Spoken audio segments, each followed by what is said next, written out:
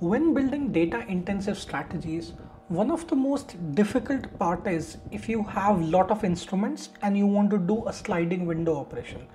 Let's say you want to do a look back calculation and you have a lot of instruments or tickers or just a number of permutations permutations is very high. What happens is the code that you use can slow down the computation significantly in this video i'm trying to solve that problem. Stick till the very end and you will understand the concept of JIT which is just in time compilation. It's a very simple uh, couple of lines of code but I'll show you the difference what happens when you do some sort of an optimization in the code and how, how fast your code can run. Uh, this is extremely important if you want to do time series based analysis quant based analysis because most of them does a lot of complex calculations and doing this can significantly improve your coding performance or not just the coding performance actually the time it takes for your code to run. So there's a bunch of sections in here uh, this just like generate synthetic data parameter setup calculating returns defining an optimized rolling function computing momentum, aligning returns, the JIT part actually, the backtesting and running the backtest. So this, this strategy by far, I'll just give a small overview. It's not really a tradable strategy per, per se. So don't, don't, don't go so much into looking at the strategy and understanding, but uh, the, the intent here is that there's momentum, which is calculated over a specific look back period, let's say, you know, 20 periods and uh, momentum is ending price minus starting price divided by start price. And the signal generation can be you know uh, let's say if the momentum exceeds some sort of a threshold 2% 3% then you want to go buy go long. Or if it's minus 2% short. So pure simple momentum based strategy. The complexity here is backtesting because what we are trying to do is do this simulate this over a large number of assets. Over a significant portfolio so if you want to do a lot of big analysis, this would be really helpful. Let's dive in. So all of this code, by the way, so if you're new to the channel, please subscribe. This is Akash Verma and uh, I frequently talk about financial engineering, quants, AI, how to use technology in trading because I believe technology is going to influence a lot of that in the times to come. That's point one. Some simple channel perks, free WhatsApp channel, no strings attached, media free tons of people to help around so join the community. Literally it's all gain there. There is a membership community where i post access to all the code everything that i do some member specific videos. It's a small community and it is paid but if you like my content that small amount of contribution could help me big time. So please subscribe and join the membership. Let's dive in so I have generated some synthetic data here, just standard stuff. There's NumPy, Pandas, Matplotlib, which is standard. And this library is going to do the most of the heavy lifting here. I'm going to just go and show you what this is. So Numba is a open source JIT compiler that translates Python and NumPy into machine code. Uh, it's important to know that this works for a series of uh, or some specific kind of data like numba and all of that sorry numpy and that kind of library. It's not like it will optimize all sorts of library but for numerical calculations even if you see on the right hand side in their example they have shown Monte Carlo. Any sort of parallelism is equals to true parallelizing algorithms a bunch of that could be there. You, if you want to do GPU acceleration vectorization operations tons of that can be enabled by Numba. Two core uh, modules is what we are going to use. So first is NJIT, uh, which is the basically the JIT module, just-in-time compilation module, which is essentially the core function, the decorator to produce the efficient machine code. And then the second is prange, which uh, I also have forgotten.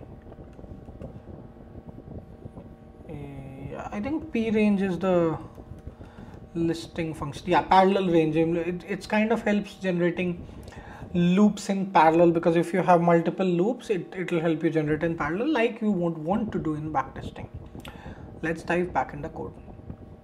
There are three four parameters. The threshold uh, sorry number of assets 500 this can be increased.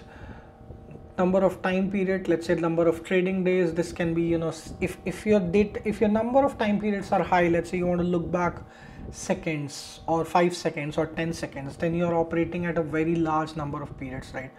If your overall data is high for instance let's say that you are uh, doing let's say you have an 8 hour trading window you have 60 minutes and uh, you want to do 5 so that's like 2400 and you want to do this over let's say uh, you know 180 days if i'm probably doing something wrong that could be okay. But yeah a significantly large number of combinations look back periods can be achieved if you want to uh, you know do that. The number is not so important. I'm just trying to demonstrate what number of period can be. It can be uh, it can be even a combination of sliding windows.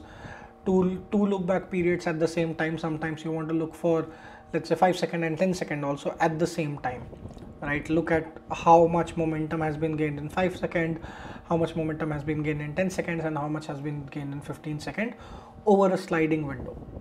Uh, various complexities of time is possible. Why you would do that? I don't know. I probably wouldn't. Number of assets just number of assets to simulate. Look back period window which is the you know date. Look back momentum window threshold uh, 0.02 again don't go so much in the trading strategy as such uh, that's not important but I'll keep running the code at, at the same time just to make sure it runs. Then you generate the data so it's generating basically synthetic data. And then I'm having some uh, general rolling window functions to calculate the stride. So basically calculating the shape of the data for calculating the shape of the time series look back period minus operations rolling operations and all of that. So basically getting the momentum given the price and the window. That's what you would get. And then finally the get the momentum in some sort of an array. So this is a 2d array where each element represents the momentum for the asset at a given time. Then you have uh, the returns and the price just adjusted because they are my uh, like uh, time period correction. And finally the core part which i wanted to come to so this is a backtesting function. I'm not going to get into the logic per se. It's basically just simple. Cross as a threshold 0.2% go long otherwise go short. And I've added a time it. What time it does is it will show you the time it has taken. So this is gonna take uh, I've run this before but let's see. Uh, I'll uh, submit this run. And probably it might take a little faster uh, because things could have been cache or it will take the same amount of time. Last time it took like 3 seconds or 5 seconds. The actual time could be longer because you can literally see me talking and see the code running but uh, some sort of offloading will be happening. It gives you the really the the cpu time that it uh, consumes. And uh, we'll have to let it finish because uh, there's not much I can do here. I need to yeah it took 3.7 seconds per loop right? Uh, how many loops it ran i don't know probably 500 times or something. This is gonna take a lot of seconds like right? The total time can be much more higher. There's another uh, cell another function that's there percent time it maybe i'll just try it in the next one. Uh, i'll see what is this so just enabling this which is at the rate njit parallel is equals to true uh, let me learn it this time. Let's see what the difference it gives me. Okay it just finished query pretty quickly. Not not not significant and not helpful. Okay last time we can see it took like 29 seconds which is fine. Uh, I'll just ignore it but I'll just rerun this code and let's just see how much time it takes now. So it took 29 30 seconds before. Now it took 4 seconds. So 4 29 you see the difference right and the whole difference and the per loop time has also significantly reduced you know 43.5 millisecond compared to 3 second per loop which is what is causing the difference. So if you increase this right if you just uh, in think about that how much more can this take then you would start to see the power. And after that i'm just adding a simple dumb sort of a plotting function which is plotting the strategy with advanced numpy optimization. So all of the magic in this conversation if i have to sum up the whole past 10 minutes is this line which is njit parallel is equals to true. However you do have to make sure that your code uh, is using numpy and is uh, kind of uh, written in a way that it uh, gets optimized.